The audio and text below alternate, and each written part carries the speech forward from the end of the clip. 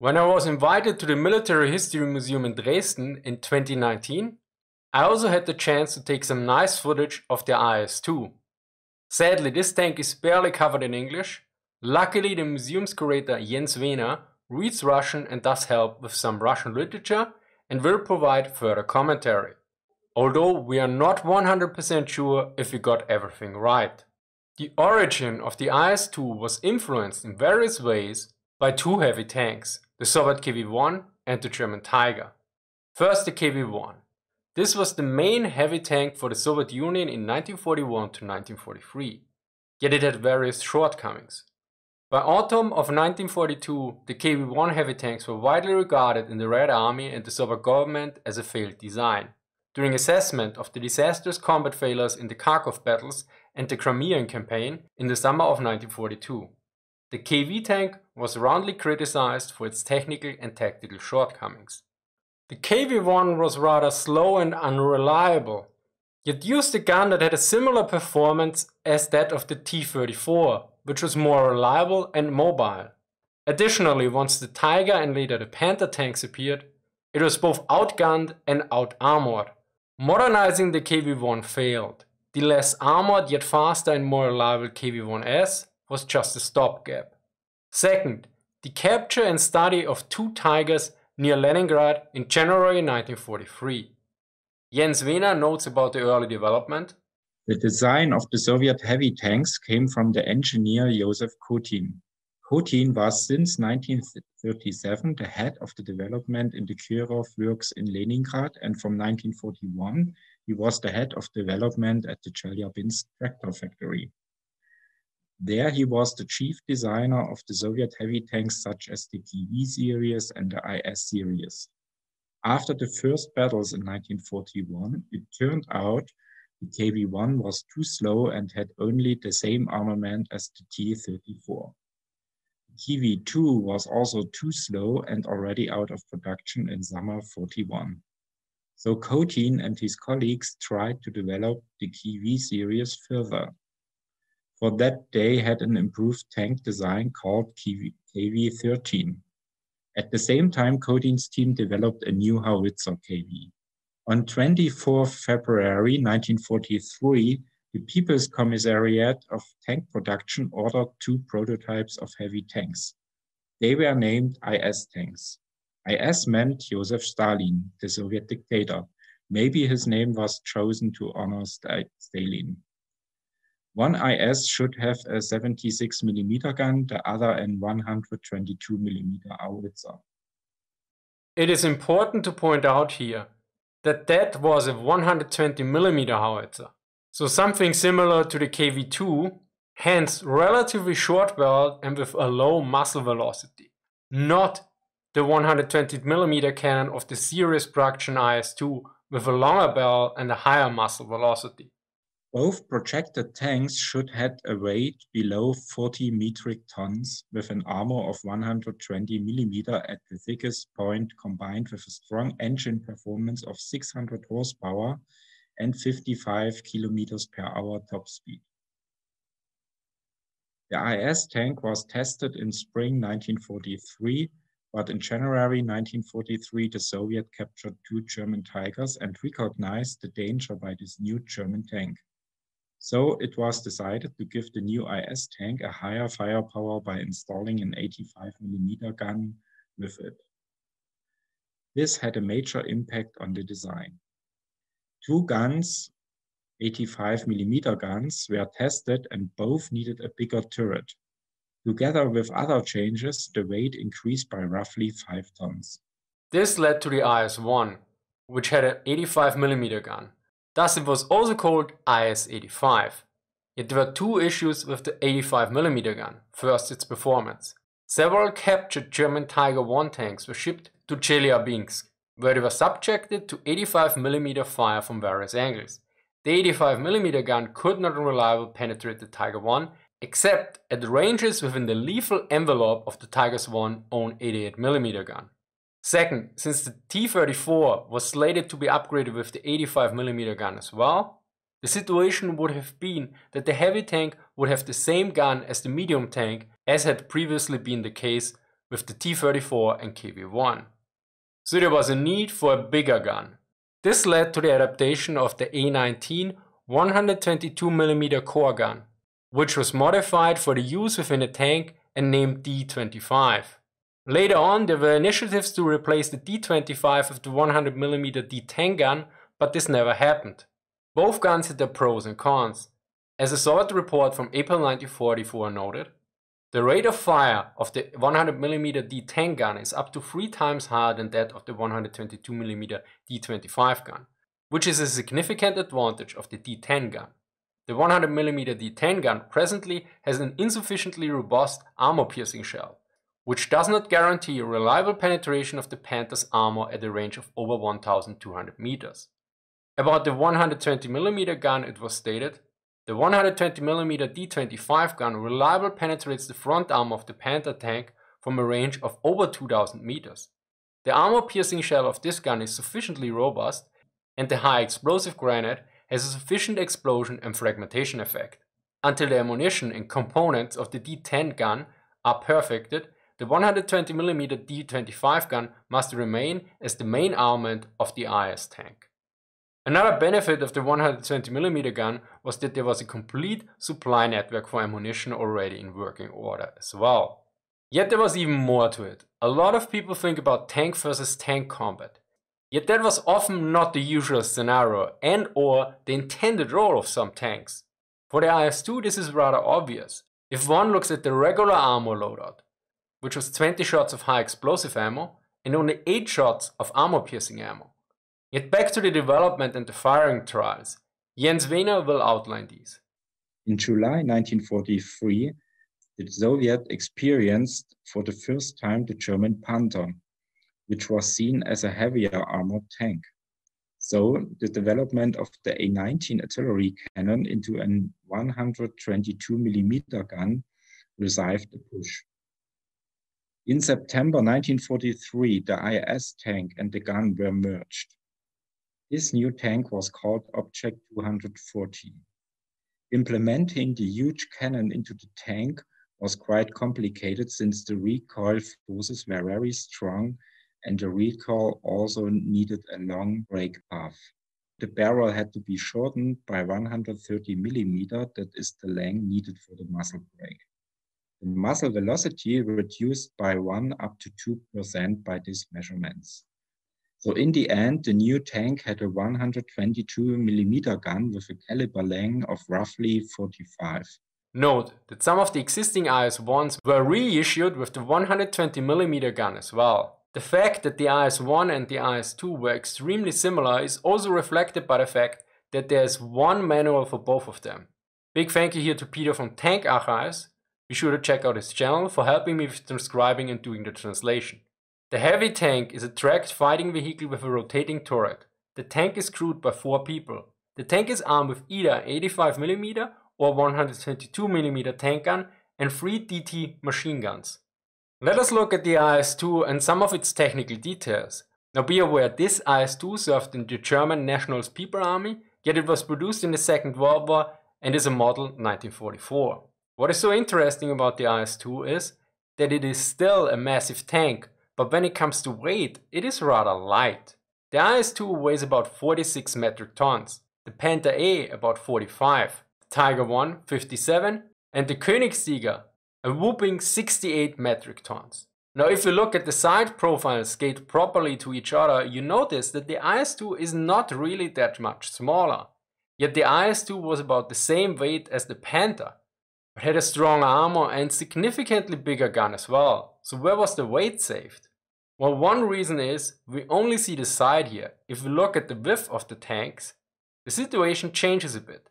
The IS-2 had a width of 3.09 meters, the Panther 3.27 meters, the Tiger 1 of 3.56 meters, and the Königstiger of 3.76 meters. So the IS-2 was rather skinny, at least from the front. Yet there were other reasons as well. One aspect was how the armor was produced namely by casting it, instead of using rolled homogeneous armor plates. Casting gave the flexibility to make armor of various thicknesses and curves, and by the virtue of later, exposed less exterior surface area for equivalent volume. but it also proves several inherent imperfections. Another was that the crew was only four men, with only the driver in the front, whereas most other tanks had a radio operator that usually was also the hull machine gunner. Now of course that one guy doesn't weigh that much, but you also need less space, hence the overall dimensions are reduced as well. Speaking of dimensions, a few words about ergonomics. Some sources note that the IS-2 was rather cramped. Although Zaloga notes it was relatively spacious for a Soviet tank. The Soviets did not ignore ergonomics as some claim. The Object 240, the precursor of the IS-2 tank, was tested by the Soviet Medical Services. They pointed out various problems. These were fixed before the tank went into mass production. Of course, every country has different ergonomic standards. This becomes rather apparent if one looks at US and Soviet tank turrets from the Cold War. Let us take a short look at the role of the IS-2. Like the German Tigers, the IS-2s were organized in small independent units, that were under the control of the High Command. Usually they would be concentrated at important points. Due to the war situation, the Tigers were mostly used in the defensive role, for instance halting Soviet breakthroughs, whereas the IS-2 was often used to support such breakthroughs. The heavy tank is used during offensives against a heavily entrenched enemy. It is meant for destroying enemy personnel and weapons, and also for combat against his tanks and artillery. Although the IS-2 was influenced by the Tiger and there were certain similarities, there was also clear differences when it came to the roles of both vehicles. Also, unlike the German Tiger 1, which was optimized for tank versus tank fighting, the IS-2 was intended to assist in the offensive operations in both breakthrough and exploitation phases. As previously mentioned, this is also reflected by the armor loadout of the IS-2. Let us take a short look at the armor. For this, we look at the 1944 armor layout, which is equivalent to the 1943 layout except for the frontal plate. Let us start with the turret. The front armor had a thickness of 100mm, yet due to being rounded it had generally a higher effective armor thickness. Note that some sources give different values here, like 155 or 160. Yet the Russian author Mikhail Baryatinsky also notes 100mm. Finally, the user Amisao on the War Thunder forum actually went out and measured various IS-2s and he noted that on the measured IS-2 the turret armor was around 100mm. For the gun mantlet on the IS-2, Amisao measured a maximum thickness of around 115mm. Although keep in mind it is curved so effective armor thickness is higher.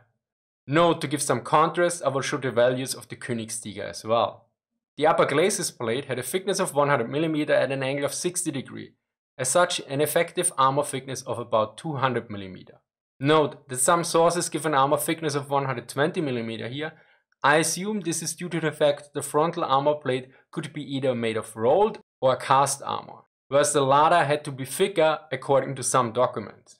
The lower glacis plate had 100 mm at an angle of 30 degree, as such an effective armor thickness of 150 mm. The turret side armor had 90 mm at an angle of 20 degree, as such 96mm, the hull side armor had also 90mm at an angle of 15 degree, hence 93mm of effective thickness. Note that early versions of the IS had a weakness in the frontal hull. The first battles of the IS-1 tank showed that the armor of new Soviet heavy tanks does not entirely meet the modern requirements for battle.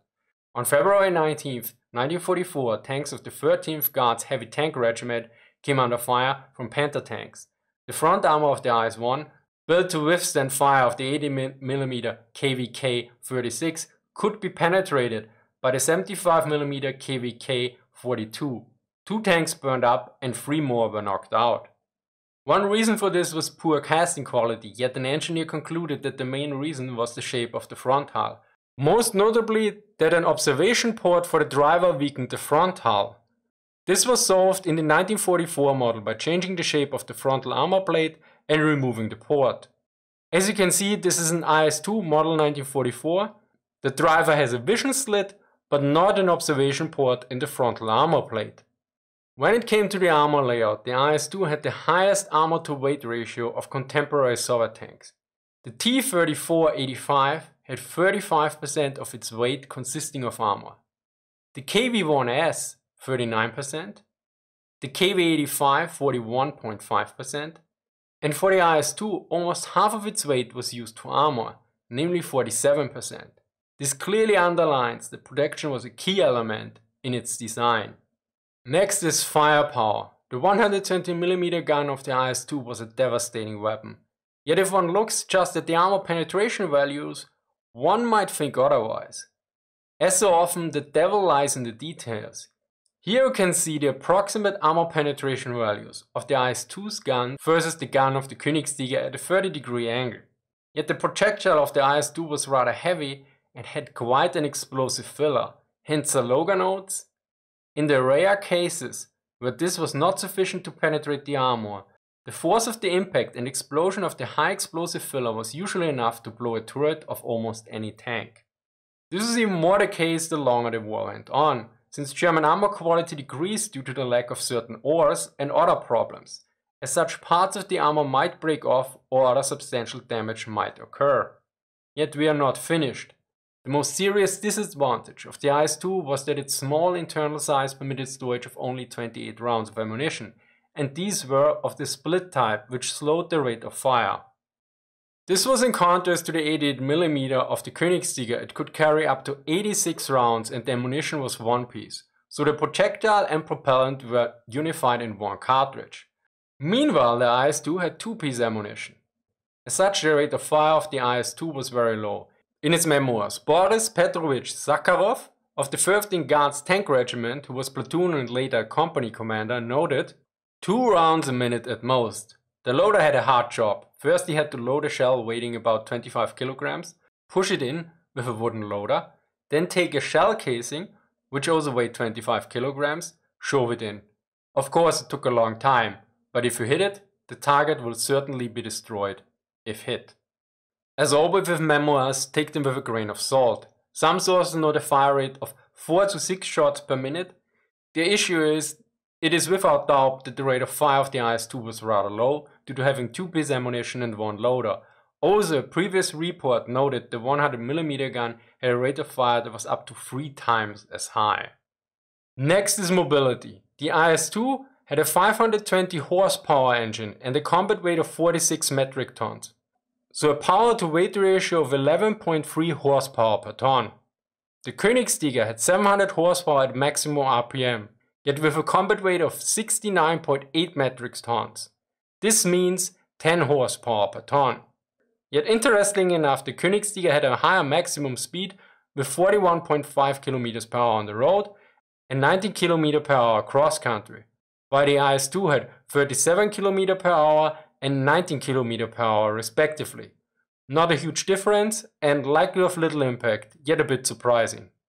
The IS-2 was better at climbing, whereas the Königstiger was better at fording, while it is not surprising considering the rather low profile of the IS-2.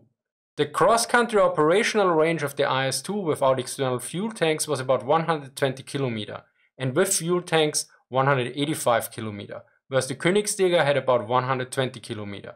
Since the maximum speed on the road is of very limited usefulness, the IS-2 with its better power to weight ratio was a bit better off. Time to take a short look at organization. As previously mentioned, there were similarities to the organization of the IS-2s and Tigers. Yet the closer one looks, the more differences become apparent. The IS-2s were organized in heavy tank regiments, which had an authorized strength of 21 IS-2 tanks by the February 1944 organization.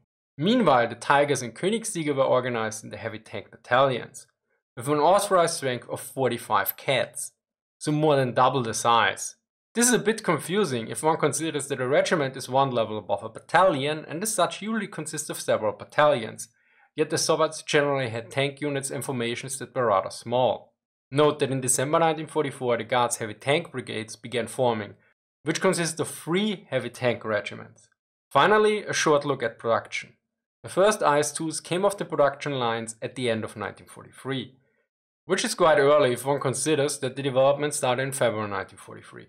Let us look at the production numbers. These might surprise you, at least they surprised me. In total the Soviets built 3,242 IS-2s during the Second World War. To put this in perspective, of the regular KV-1 they built 2,874, of the KV-2 they built 232, and of the KV-1S a total of 1,232. If we compare these numbers with German heavy tanks, there is even a starker contrast. Pöhlmann notes a total of 1346 Tiger 1 and a mere 489 Königstiger. Of course, technically the Panther was also a heavy tank of which the Germans built almost 6000, namely 5984. We are aware that the numbers are not perfect, for the KV-1 production numbers only include the last 6 months in 1941, so the production for June is missing, although I doubt that the big picture is fundamentally changed by this inaccuracy. The KV-1 numbers are from Zaloga and Ness, whereas the IS-2 numbers are from Baryatinsky's book. To summarize, the Soviets were not happy with the heavy tank, the KV-1, and the modernization was not particularly successful. The introduction of the Tiger also stressed the necessity for a new heavy tank, and one with a gun that could defeat the Tiger at the proper range. The IS-2, unlike the Tiger, was not focused on anti-tank combat, as the standard ammo loadout suggests. For a heavy tank it was rather light, just being a bit heavier than the Panther tank, although it was not faster than a Königstiger. Well, I hope you learned something new. Thank you to Jens Wehner for the interview and helping with Russian quotes. Thank you to Peter from Tank Archives for helping with the transcription, translation and various questions. Thank you to the Military History Museum of the Bundeswehr in Dresden for inviting me in 2019. Thank you to Andrew for reviewing the script. Special thanks to all my supporters on Patreon and Subscribestar for making videos like this possible. Sources are listed in the description. Thank you for watching and see you next time.